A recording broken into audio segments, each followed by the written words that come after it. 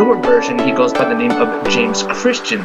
Now, unfortunately, the old website is no longer available, but I am going to redirect you guys to my website um, where we expose the original version way back in March.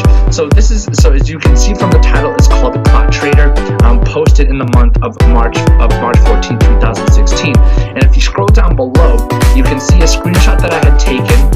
the same actor, but notice the name that they use below on the bottom, where he introduces himself as Matthew Shepard, CEO of Cloud Trader.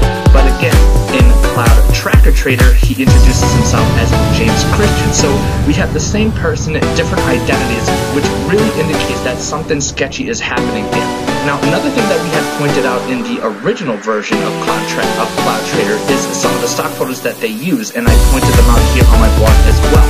So remember, this is supposed to be Matthew Shepard, okay, the, the, the creator of the Cloud Trader. But when they when they installed it, their stock photos, for, they used the wrong picture and named this stock photo as Matthew Shepard. But what's even worse is that they use the same photo in the new updated version, which we're exposing right now,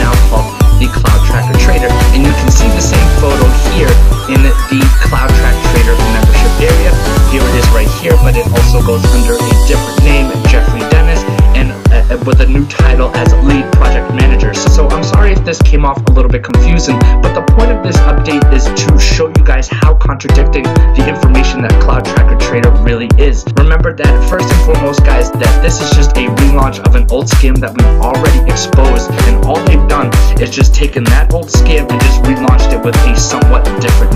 So that is my main warning, guys. And below in the video description, I will be leaving a link to my review, which goes into more details and more evidence, just proving why Cloud Track Trader is a terrible scam to get involved with.